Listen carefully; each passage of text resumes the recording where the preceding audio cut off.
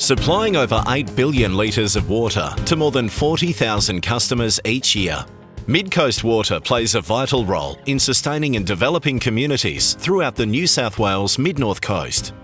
As well as providing reliable, high-quality water to residents and businesses, one of Midcoast Water's primary responsibilities is to ensure our precious water supplies are secured for future generations. This is particularly important when faced with issues such as population growth and climate uncertainty. As a result, Midcoast Water has a clear vision for the future supply of water in our region. Part of this vision is the $34 million Nabiac Inland Dune Aquifer Water Supply System project. Situated 6 kilometres southeast of Nabiac and 4 kilometres northwest of Tuncurry, the Nabiac Inland Dune Aquifer contains up to 200,000 million litres of stored water. Currently, water is pumped from the Manning River, treated at the Bootawa Water Treatment Plant and piped over 40 kilometres to the Great Lakes region.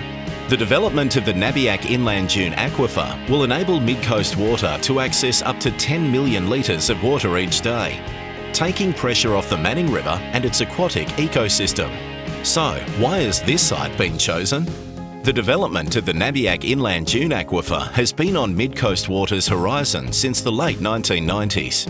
Groundwater investigations and monitoring bores confirmed sand mining data from the 1970s, showing a significant volume of water in the Nabiac Inland Dune Aquifer.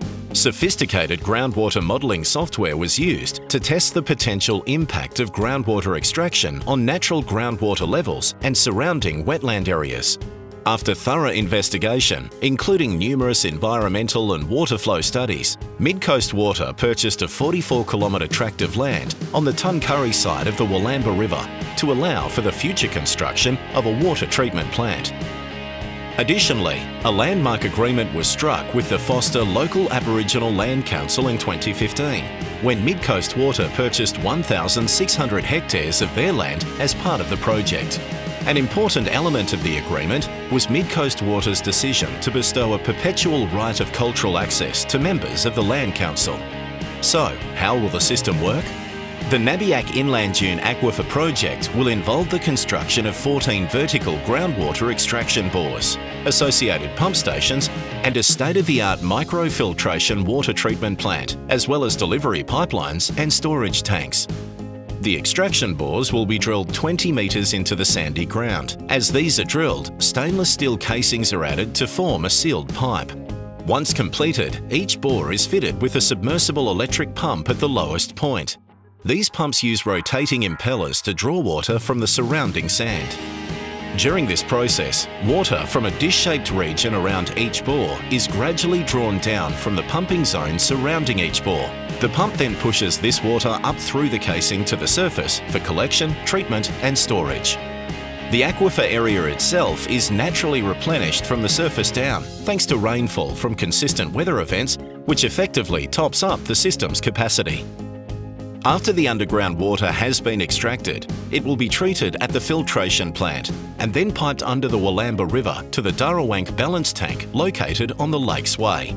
The water will then be injected into the 600mm diameter trunk main between the Lantana Reservoir near Taree and the Forster, Rainbow Flat and Tallwood Drive reservoirs.